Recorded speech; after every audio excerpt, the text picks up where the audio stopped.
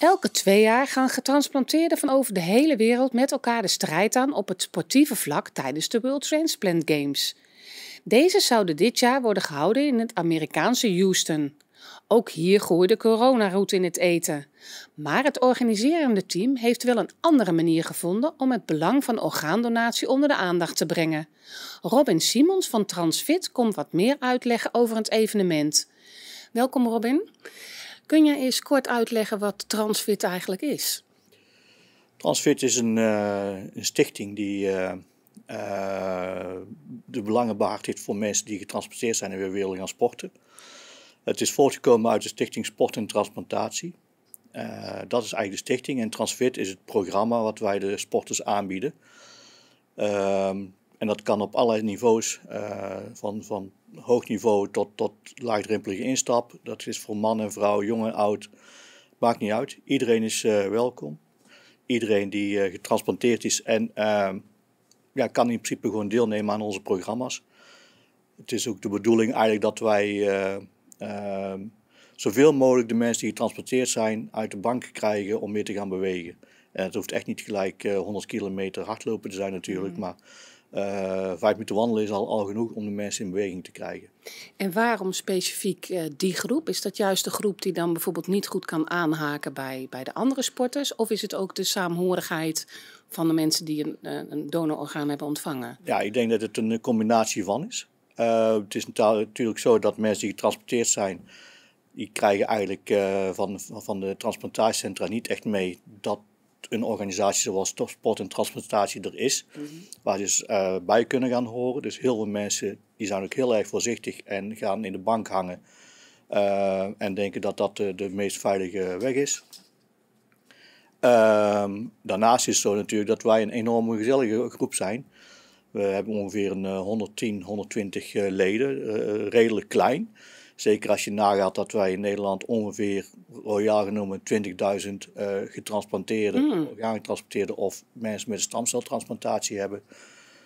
Dus ja, dan zit je nog niet op, uh, op 1% die daar uh, aan deelneemt.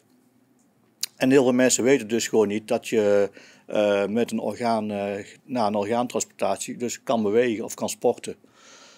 En ehm, ja, dat willen wij heel, heel erg duidelijk gaan maken in Nederland. de stichting bestaat al best wel lang. Maar wij merken gewoon dat er echt heel veel mensen, dus we, we hebben maar een half procent eigenlijk die deelneemt aan ons bij de stichting. Ja.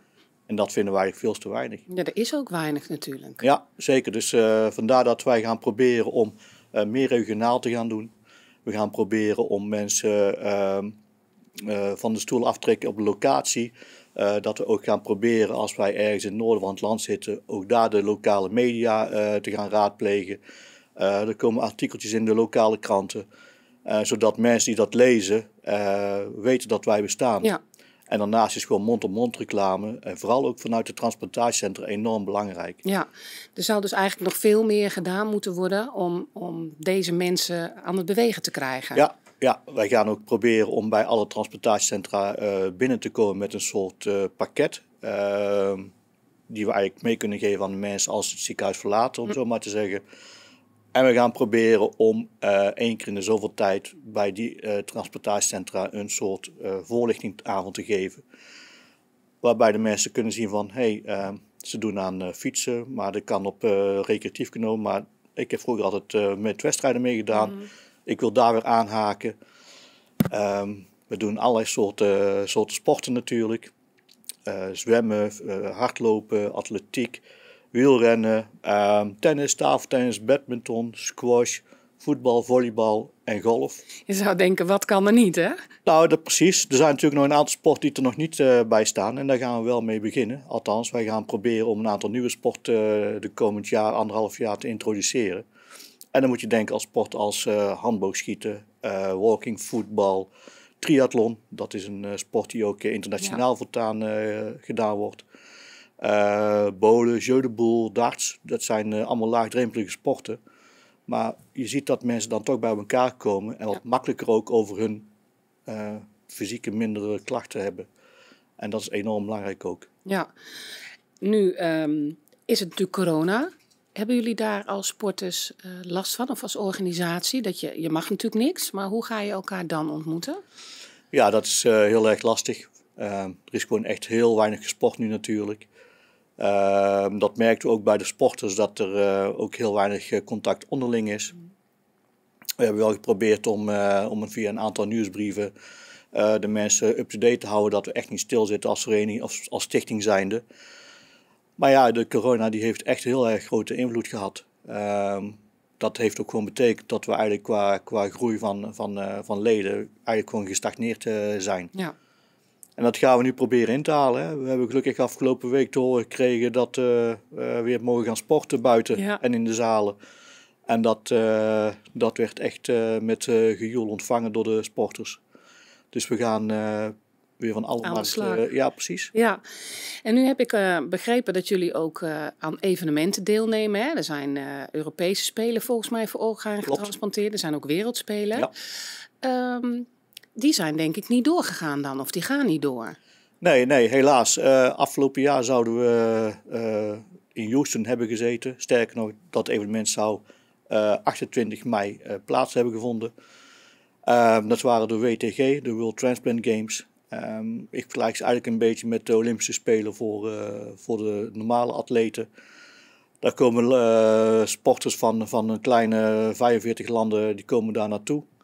Um, en ja, die gaan met elkaar een week lang uh, de strijd aan, maar vooral ook de, de emoties en hun verhalen delen. Want dat staat eigenlijk daar veel hoger in het, in het vaandel dan uh, het winnen van een medaille. Ja, het is dan meer ook uh, meedoen in plaats van ja, winnen. Nou, en is, is dit dan um, het ultieme doel van een getransplanteerde sporter om daar aan mee te doen? Hè? Want je zegt laag bewegen. Is dit dan uh, de top om dat te halen? Ik denk dat voor iedereen die, die getransplanteerd is, zijn eigen wil laten zien dat hij weer kan sporten. En daar zijn die, die, die games echt uitstekend. En uh, ik vind ook eigenlijk dat iedereen die daar deelneemt gewoon een gouden medaille verdient. Ja, mooi. Natuurlijk uh, ja, de, wil de snelste en de, en de beste in, in de sport uh, krijgt een medaille. Ehm, maar iemand die eh, net getransplanteerd is en de 100 meter in 40 seconden loopt, dat is voor hem ook al misschien een enorme prestatie. Ja. En daarom denk ik van ja, die verdient die medaille misschien net zo hard, misschien nog wel harder. Ja, omdat hij omdat die zo ver moet komen, hij ja. of zij. Maar er is wel, behalve die uh, World Transplant Games die niet doorgaan, is er een alternatief bedacht hè, door de organisatie in Houston. Ja, dat klopt. Dus uh, eind mei zouden de, in Houston de Transplant Games starten. Om ervoor te zorgen dat er uh, voldoende reclame en in social media het een en ander bekend werd gemaakt over de Transplant Games. En over orgaandonatie in het algemeen. Hebben ze besloten om een, een 5K Anyway op te zetten. Dat is als het ware 5K eh, anyway, 5 kilometer, hoe dan ook. Mm Dus het maakt niet uit op wat voor manier je 5 kilometer aflegt. Of dat je nu zwemt, fietst, met een golfballetje 5 kilometer wegslaat. of dat je nu 200 keer een strafschop neemt, zal ik maar zeggen, van, okay. voetbal. Als je maar die 5 kilometer aflegt. En dat kun je elke dag doen, maar je kan ook zeggen van ik neem daar echt vijf dagen de tijd voor om dat einddoel te behalen. Uh, het mooie daarvan is, is dat het automatisch allemaal ook gedeeld gaat worden op social media natuurlijk, zodat mensen elkaar toch weer vinden mhm. en uh, met elkaar weer in contact komen. En daarnaast is er nog een heel mooi doel bij, want voor elke tiende deelnemer die meedoet aan die 5 keer NEW, wordt er een teddybeer uh, gesponsord voor kinderen die nog op de transplantatiewachtlijst staan. Oh, dat is wel dus, ja, een beetje als aanmoediging, zeg maar. Ja.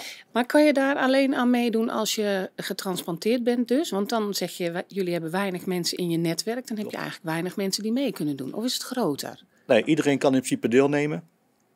Ik weet dat vanuit Nederland uh, hebben we echt uh, tien leden die echt meedoen met Team NL. Maar er zijn veel meer mensen die namens Nederland meedoen, maar een eigen uh, groepje hebben opgericht. Hm. Ik weet bijvoorbeeld vanuit de squash dat ze, dat ze iets doen. Ik weet vanuit de golf dat ze iets doen.